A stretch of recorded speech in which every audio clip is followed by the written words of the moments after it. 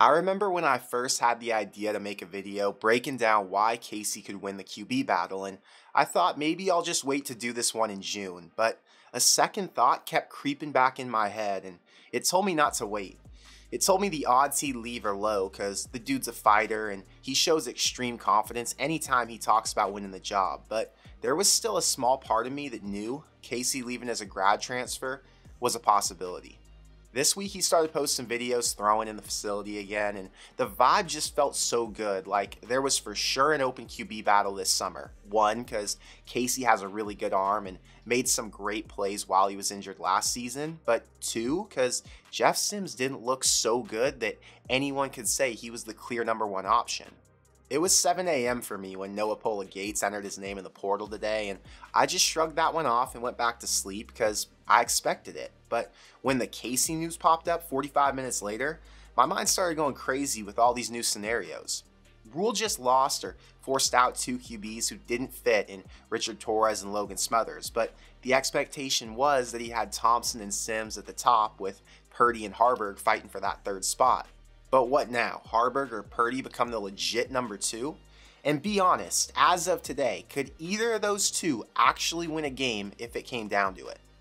Sims missed multiple games with a foot injury and hasn't played a complete season since he was a true freshman, and we already know how much of a beating QBs take when the O line isn't playing up to par. So, how often is Satterfield going to have to rework the game plan if his main guy goes out?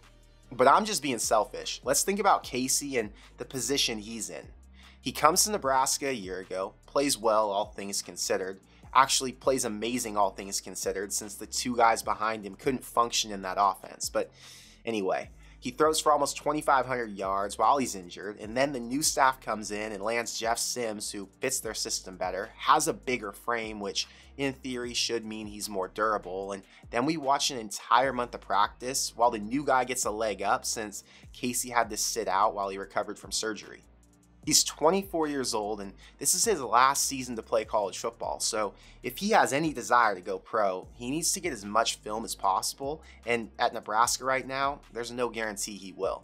This isn't a bad thing, but Rhule has no loyalty to any player, especially one he didn't recruit. He's in Lincoln to rebuild and to win as soon as possible.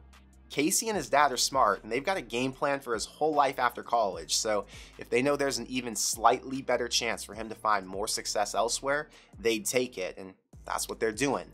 With the portal, it's almost impossible to keep two starting caliber QBs on the roster because there are so many schools desperate for a guy with talent, and good quarterbacks are really hard to come by.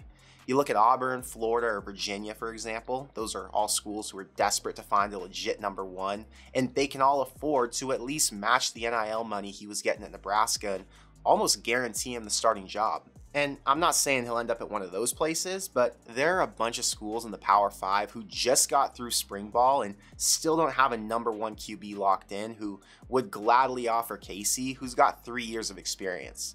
But if I was him, I'd probably do the same thing because the writing's been on the wall. This staff wants a QB who can run, and the pass game won't be the emphasis like it was last year. Sims was almost certainly going to win the job anyway, so why would you want to waste your last year sitting on the bench when somebody else will put you on the field? There's no way to spin this into a positive for Nebraska because he's a massive loss, and if something were to happen to Sims, I wouldn't be surprised if the offense struggled the way it did last year when Casey was out against Illinois, Minnesota, and Michigan. But it is what it is. It really sucks for Nebraska. It's great for college football since Casey's going to make somebody else's offense a lot better. But yeah, Nebraska fans did not want this news today. But what do you think? Is losing Casey as big of a blow as Twitter's making it out to be, or did Matt Rhule know this was going to happen?